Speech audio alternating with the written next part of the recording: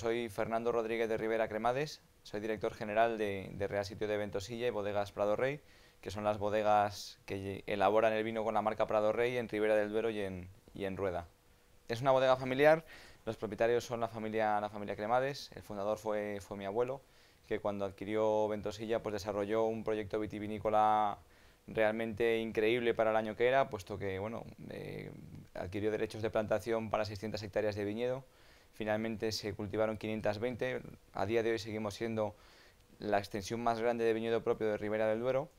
En el año 93 comenzamos con la construcción de la bodega y ya en el año 2005, viendo el éxito comercial que estábamos teniendo en Ribera del Duero, comenzamos la ampliación en Rueda. La crisis nos ha parado de momento, pero la idea, la idea es seguir expandiéndonos y consolidando, puesto que en mi familia lo que sí que hay es una tradición agroalimentaria muy importante. La historia de, Rivera es muy curiosa porque cuando uno habla con mi abuelo, él siempre dice lo mismo, ¿no? Dice, para mí el mejor vino es Vega Sicilia y yo quería hacer un vino en la mejor zona. Si el mejor vino es Vega Sicilia, pues yo me tengo que ir a Ribera del Duero. Dice, mi objetivo es que en 100 años, cuando yo no lo vea, esto tienda a parecerse a, a Vega Sicilia. Bueno, eh, nos quedan todavía 85 años ¿no? para, para verlo. Y Rueda, de alguna manera, fue una, una evolución casi natural, ¿no? casi lógica. El, albillo en, en, Ribera del Duero pues no es una variedad que aguante demasiado bien la botella, nos faltaba un vino blanco que pudiera, de alguna manera, complementar nuestra gama de tintos y rosados, y, y bueno, pues Rueda, por su cercanía geográfica, por, por la complementariedad que tiene con, con, con Ribera del Duero, las sinergias comerciales y técnicas que se podían establecer parecía un paso natural. ¿no? Fue una apuesta arriesgada en el momento que se dio, porque 2005-2006 elaboramos en, en, bodega ajena, 2007 ya en casa, con una inversión bastante, bastante considerable para lo que es Rueda, pero bueno, como decía antes, hemos venido al mundo del vino para, para quedarnos y para ser un grupo importante con protagonismo. Modernos, con personalidad propia, que sé que no es un adjetivo, pero podría, podría, podría encajar y, el tercero es complicado. Bueno, quizás mm, me atrevería a decir atrevidos, ¿no? Creo que sería otra, otra característica. Bueno, nosotros empezando por la bodega de Rivera, eh, ahora mismo la marca top que tenemos es Real Sitio de Ventosilla. Es una marca que lanzamos hace un año y medio, eh, con series históricas, personalidades que han pasado por, por Ventosilla. En este caso hay una edición limitada de Rubens, otra de Lope de Vega, y otra del Duque de Lerma.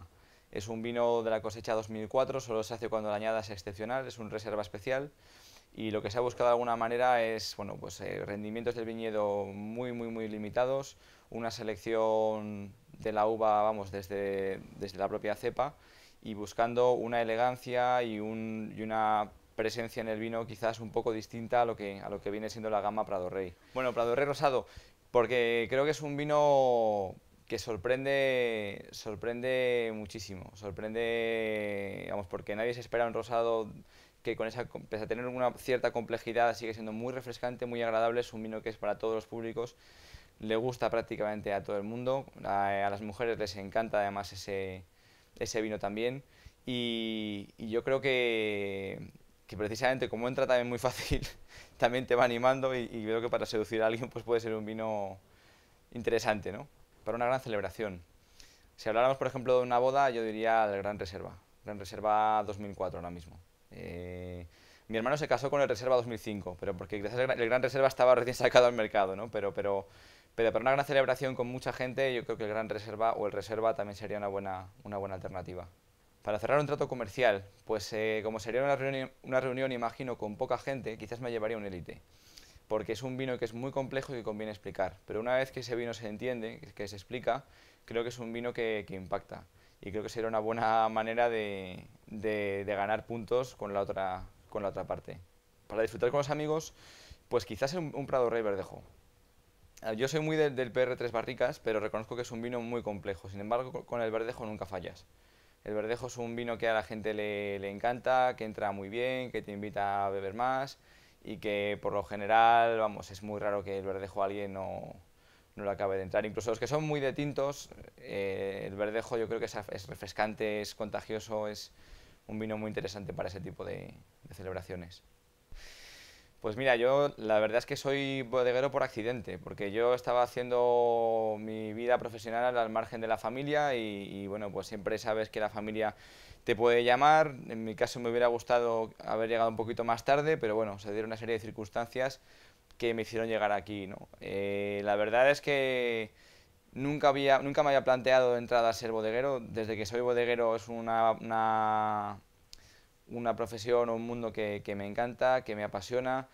Y de no haber sido bodeguero, pues a lo mejor me hubiera dedicado a la universidad, al mundo de la investigación o, al mundo comercial, que era lo que también hacía antes de, de entrar en la bodega, ¿no?